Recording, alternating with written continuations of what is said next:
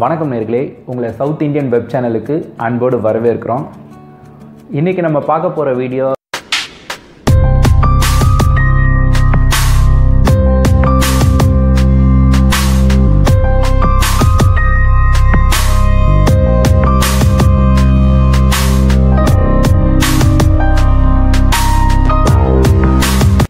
நம்ம என்ன பார்க்க போகிறோம் அப்படின்னு பார்த்தீங்கன்னா ஒரு டக்கரான ரெசிபி என்னென்னு பார்த்தீங்கன்னா மோர் குழம்பு. இந்த மோர் குழம்பு பார்த்திங்கன்னா எல்லாருக்கும் ரொம்ப ரொம்ப பிடிக்கும். ஏன்னா வந்து இந்த மோர் குழம்பு ரொம்ப ரொம்ப சுவையாக இருக்கும். ஸோ மோர் குழம்புலாம் ஊற்றி சாப்பிட்ணும் அப்படின்னு ஆசைப்பட்டிங்கன்னா கண்டிப்பாக இந்த மோர் குழம்பை செஞ்சு சாப்பிடுவீங்க. ஏன்னா செய்கிறது ரொம்ப ரொம்ப இது ஈஸி ஆனால் சுவை வந்து பார்த்திங்கன்னா சும்மா அட்டகாசமாக இருக்கும்.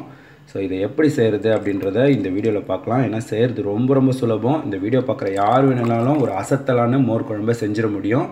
சரி வாங்க வீடியோக்குள்ளே போகலாம் சவுத் இந்தியன் வெப் சேனலை இதுவரை சப்ஸ்கிரைப் செய்யாதவர்கள் இந்த ரெட் சப்ஸ்கிரைப் பட்டனை அழுத்தி சப்ஸ்கிரைப் செய்யவும். அத்துடன் இந்த பெல் பட்டனையும் அழுத்தவும். சவுத் இந்தியன் வெப் சேனலின் புதிய வீடியோக்கள் இனிமேல் உங்களை வந்தடையும். இந்த மோர் குழம்பு செய்கிறதுக்கு முன்னாடி நம்ம ரெண்டு விஷயம் பண்ணிக்கணும். அப்படி பண்ணிட்டோன்னா தான் நம்மளுக்கு ஈஸியாக இருக்கும். ஒன்று என்னென்னு பார்த்தீங்கன்னா நம்ம ஒரு சிலதை அரைக்கணும். என்னென்னு பார்த்தீங்கன்னா கால் கப்பு வந்து துருவன தேங்காய். இதை நம்ம மிக்ஸி ஜாரில் போட்டுக்கணும் அதுக்கப்புறம் பார்த்திங்கன்னா டென் மினிட்ஸ் வந்து இந்த பருப்பு ஒரு ஸ்பூன் பருப்பை நம்ம டென் மினிட்ஸ் ஊற வச்சு வச்சுருக்கோம். இதை நம்ம இதில் தண்ணியெல்லாம் எடுத்துகிட்டு இதில் போட்டுடலாம். அதுக்கப்புறம் ஒரு ஸ்பூன் வந்து சீரகம். இதை போட்டுக்கணும். ஒரு சின்ன இஞ்சி துண்டு மூணு பச்சை மிளகாய் இப்போ இதெல்லாம் வந்து நம்ம கொஞ்சமாக தண்ணி ஊற்றி அரைச்சி எடுத்துகிட்டு வந்துக்கலாம். ஸோ இந்த அளவுக்கு இருந்தால் போதும். பார்த்தீங்கன்னா தெரியும். ஸோ இது வந்து மொதல் விஷயம் பண்ணிக்கணும். அப்புறம் இன்னொரு விஷயம் என்ன பண்ணோம் அப்படின்னு பார்த்தீங்கன்னா நம்ம இப்போ வந்து த்ரீ ஹண்ட்ரட் கிராம்ஸ் வந்து தயிர் எடுத்திருக்கோம். இதை வந்து நம்ம மத்தில் கடைஞ்சிக்கணும்னா கடைஞ்சிக்கலாம். ஆனால் வந்து ரொம்ப ஈஸியானது என்னென்னு பார்த்தீங்கன்னா இந்த மாதிரி மிக்ஸி ஜாரில் வந்து ஜஸ்ட்டு நீங்கள் இதை விட்டுட்டு ஒரு ஒரு சுற்று வந்து சுற்றி நீங்கள் எடுத்துட்டிங்கன்னா இது வந்து நல்லா கொஞ்சம் தண்ணி கூட ஊற்றிக்கலாம் ஒன்றும் பிரச்சனை இல்லை. இது பார்த்திங்கன்னா நல்லா நம்ம ஒரு ஒரு சுற்று வந்து சுற்றி எடுத்துகிட்டு வந்துடலாம். அதை சுற்றிட்டு எடுத்துகிட்டு வந்துட்டோம்னா அது திப்பி திப்பியாக இருக்காது. ஸோ இந்த வேலையை நம்ம பண்ணி வச்சிடணும். இப்போ நம்ம இந்த ரெண்டாவது வேலையும் பண்ணியாச்சு. பார்த்திங்கன்னா இந்த அளவுக்கு இருந்தால் போதும். இங்கே பாருங்கள் ஸோ இப்போ நம்ம செய்ய ஆரம்பிச்சிடலாம். இப்போ நம்ம கேஸ் ஸ்டவ் பற்ற வச்சுக்கலாம். பற்ற வச்சுட்டு இந்த மாதிரி பேன் எடுத்துக்கோங்க. மீடியம் ஃப்ளேம் வச்சுக்கோங்க. இப்போ பேன் வந்து சூடானதும் நம்ம ஒரு ரெண்டு ஸ்பூன் எண்ணெய் விட்டுக்கணும். ரொம்ப எண்ணெய் தேவைப்படாது. ஒரு ரெண்டு ஸ்பூன் மட்டும் விட்டால் போதும். இப்போ எண்ணெய் வந்து சூடானதும் ஒரு ஸ்பூன் வந்து கடுகு போட்டுக்கோங்க. கடுகு வந்து பொரியணும். கொஞ்சம் ஸ்லோ வேணால் பண்ணிக்கலாம் ரொம்ப ஹீட் ஆகிடுச்சு கொஞ்சம் சிம்மில் வச்சுக்கலாம். சிம்மில் வச்சுட்டு ரெண்டு காஞ்ச மிளகு எடுத்துக்கோங்க. அதை வந்து நம்ம இந்த மாதிரி கட் பண்ணி போட்டுக்கலாம். கூட பார்த்திங்கன்னா பெருங்காயம். பெருங்காயம் பார்த்தீங்கன்னா ஒரு கால் ஸ்பூன் தேவைப்படும். பெருங்காயம் போட்டுக்கோங்க. அப்புறம் கொஞ்சமாக வந்து கருவேப்பிலை. கருவேப்பிலை போட்டுக்கோங்க.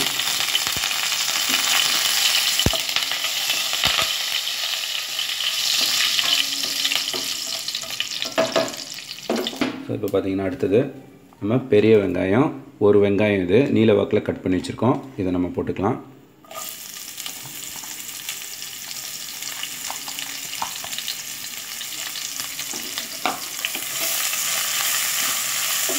வெங்காயம் வந்து வதங்கணும். இந்த ப்ரௌன் வந்து வர்றதுக்கு ஸ்டார்ட் ஆகணும். அந்த அளவுக்கு நம்ம வதக்கிக்கணும்.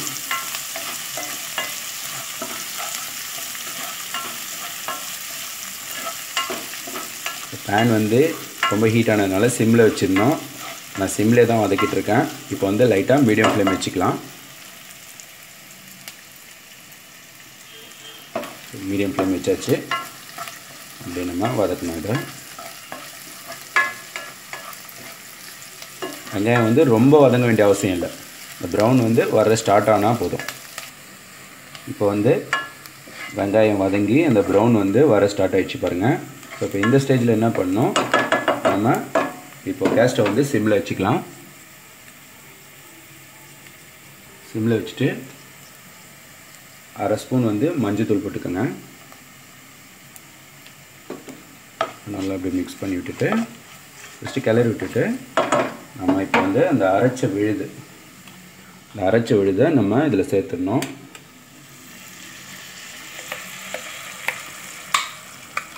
இதில் பார்த்தீங்கன்னா நம்ம கூட வந்து தண்ணி வந்து சேர்த்து இந்த ஜாரை கழுவி நம்ம ஊற்றிக்கலாம் ஏன்னா இதுக்கு நம்ம தேவையான மோர் குழம்புக்கு தேவையான தண்ணி ஊற்றிக்க போகிறோம் ஸோ வந்து நம்ம இதை வந்து அழகாக கழுவி கூட சேர்த்துக்கலாம்.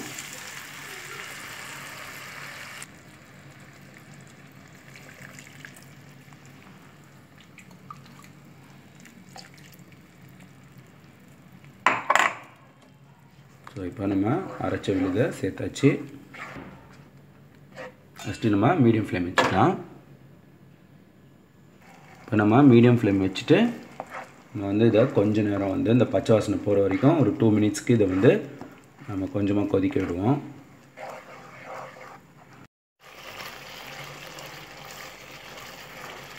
ஸோ இப்போ பார்த்தீங்கன்னா ஒரு டூ மினிட்ஸாக நல்லா கொச்சிட்ருக்கு இந்த பச்சை வாசனைலாம் வந்து வெடிச்சு இந்த ஸ்டேஜில் என்ன பண்ணோம்? நம்ம இந்த தயிர் நம்ம வந்து அடித்து வச்சுருக்கோம் பார்த்தீங்களா இந்த தயிரை அப்படியே ஊற்றிருங்க இது கூட பார்த்திங்கன்னா நம்ம தண்ணி சேர்த்துக்கணும். எவ்வளோ வந்து நம்மளுக்கு மோர் குழம்புக்கு தேவையான தண்ணியை வந்து சேர்த்துக்கணும்.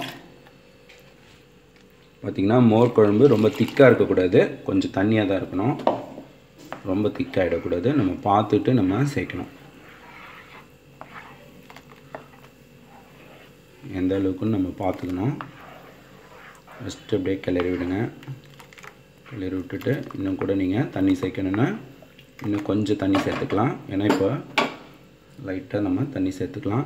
இது வந்து பார்த்திங்கன்னா மோ தயிர் வந்து நம்ம ஊற்றிட்ட பேர் நம்ம வந்து இதை வந்து ரொம்பலாம் கொதிக்க விடக்கூடாது. இப்போ நம்ம இதில் வந்து உப்பு போடணும். இப்போ இதுக்கு தேவையான உப்பை நீங்கள் இங்கே தான் போடணும்.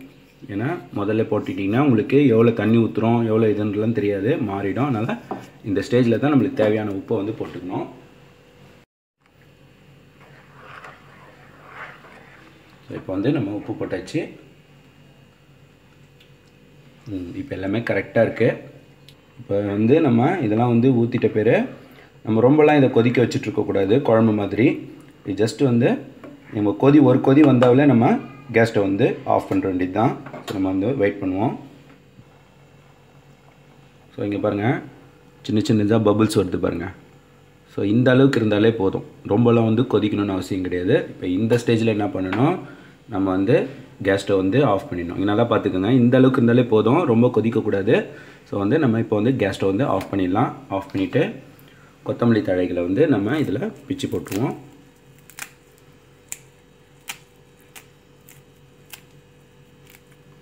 பிச்சு போட்டுட்டு நம்ம ஜஸ்ட்டு ஒரு மூடி போட்டு ஒரு டூ மினிட்ஸு அப்படியே வந்து மூடி வச்சிடணும். இந்த மோர் குழம்பு பார்த்திங்கன்னா சூடாக சாப்பிட்றத விட ஆ ஆறிட்ட பேர் வந்து ஊற்றிக்கிறதுல தான் வந்து டேஸ்ட் இருக்குது ஸோ அதனால் இதை வந்து நம்ம டூ மினிட்ஸே இதை மூடி வச்சிட்டோம்னா இதோட ஃப்ளேவர்லாம் நல்லா கிடைக்கும். ஸோ கொஞ்சம் ஆரியம் இருக்கும். ஸோ நம்ம அதுக்கப்புறம் இதை எடுத்துக்கலாம். இப்போ வந்து டூ மினிட்ஸ் ஆயிடுச்சு. நம்ம ஓப்பன் பண்ணலாம். வா பார்த்தீங்களா? நான் சூப்பராக இருக்குது பாருங்கள் பக்காவான நம்மளுக்கு ஒரு அசத்தலான மோர் குழம்பு. ரெடி ஆகிடுச்சு பாருங்கள் இது வந்து ரொம்ப ரொம்ப ஈஸிங்க செய்கிறது இந்த வீடியோ பார்த்த எல்லாருமே வந்து உங்கள் வீட்டில் ஈஸியாக ஒரு டக்கரான மோர் குழம்ப சுலபமாக பண்ணிட முடியும். ஸோ இது வந்து நீங்கள் இதை செஞ்சு பார்த்துட்டு உங்களோட கருத்துக்களை எங்களோட கமெண்ட் செக்ஷனில் தெரிவிங்க. இது ஒரு சூப்பரான மோர் குழம்பு. நீங்கள் இதை வந்து நீங்கள் வைக்க ஆரம்பிச்சிட்டிங்கன்னு வச்சுக்கிங்களேன் இதுதான் நீங்கள் அடிக்கடி உங்கள் வீட்டில் மோர் குழம்பு செஞ்சு சாப்பிடுவீங்க. ஏன்னா அவ்வளோ டக்கராக இருக்கும். ஸோ இதுதான் அதோட இதுவே. டேஸ்ட்டு சூப்பராக இருக்கும். இது கண்டிப்பாக நீங்கள் செய்யுங்க. செஞ்சு பார்த்துட்டு எங்களோட கருத்துக்களை எங்களோட கமெண்ட் செக்ஷனில் தெரிவிங்க.